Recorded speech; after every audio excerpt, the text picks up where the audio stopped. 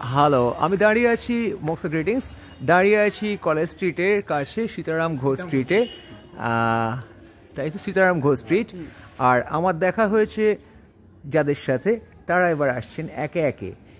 একে একে। হুম আমি মেহমুদ।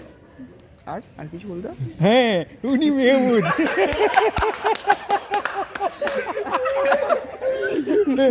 মেহমুদ এখন নিজের সম্পর্কে বলছেন। বলুন। আমি এখানে থাকি। এখানেই থাকি।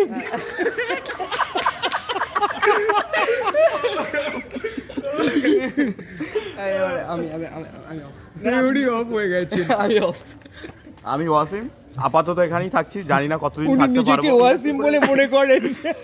কতদিন থাকব জানি না আশা করি মোদিদির দয়া দয়ায় আমরা এখানেই থাকব।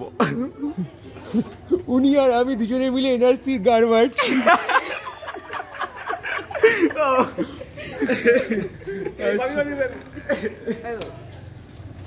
আমি সাইদ আনসারি আমাদের উনি ওই যা বললেন।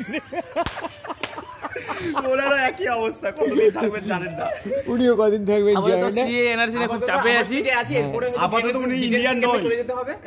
স্ট্যাটাস ফাঁকা আছে আমরা কোথায়? পাসপোর্ট সবকিছু থাকা সত্ত্বেও এখনও আমরা ঠিক নই আমরা ইন্ডিয়ান কিনা।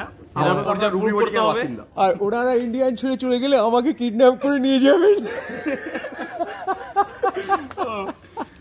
যাই হোক আমাদের দলবল অনেক ভারী হয়ে গেছে। একটু কাছ থেকে দেখা যাক।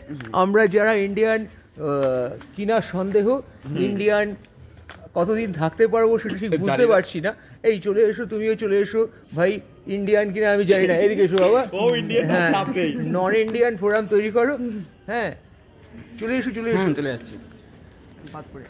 এই যে একটি অসামান্য টপ অ্যাঙ্গেল শটে আমাদের মুন্ডুগুলো এখন দেখা যাচ্ছে। আমাদের এই মুন্ডু কতদিন ধরে আছে আমরা জানি না। তুমি কি করিতেছ সরকার তুমি তুমি কি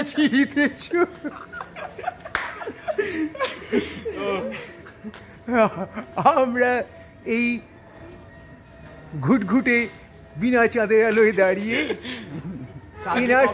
গগনে কবে চাঁদ উঠবে? গগনে কবে চাঁদ উঠবে আমরা জানি না কিন্তু আমরা এখন ইন্ডিয়ান কি ইন্ডিয়ান না নাগরিক তালিকায় থাকতে পারব কি পারব না তাই জানি না তা ঠিক ভালো করে জানি না।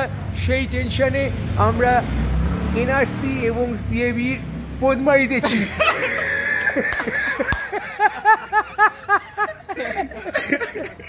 এই হাসি হাসি মুখে আমরা কি করে এই মহান কার্যটি করিতেছি আমরা ভালো করিয়া জানি না কিন্তু করিতেছি। হ্যাঁ। বাধ্য হয়েছি। করিতে বাধ্য হইতেছি এমত অবস্থায় বাবাই। হয়ে গেছে। হয়ে গেছে। পড়ে গেছে। বাবাই পড়ে গেছে। হ্যাঁ। এমত অবস্থায় খুবই সঙ্গীন অবস্থা। কি আর করা যায়? আমি তো এই দশা দেখে ভারতীয় বা ভারতীয় না। আমার যে দশা হয়েছে তা ঠিক কীরকম? অনেকটা এরকম পিছিয়ে গাড়ি পিছিয়ে গাড়ি পিছিয়ে